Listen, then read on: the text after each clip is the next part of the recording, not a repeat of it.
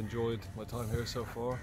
The results have been disappointing. Performances uh, have been uh, mediocre. So uh, a lot to improve on and uh, a lot more enjoyment to come. Hopefully uh, on the pitch and off the pitch. It's not tough at all. Um, so I've had a 17, 18 year professional career.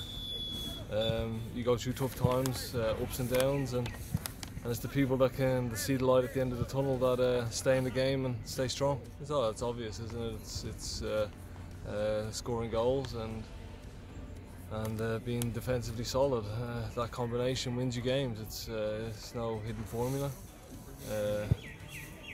But the, the actual formula is, is on the work we do behind the scenes and in getting us prepared to achieve those those goals that we set out.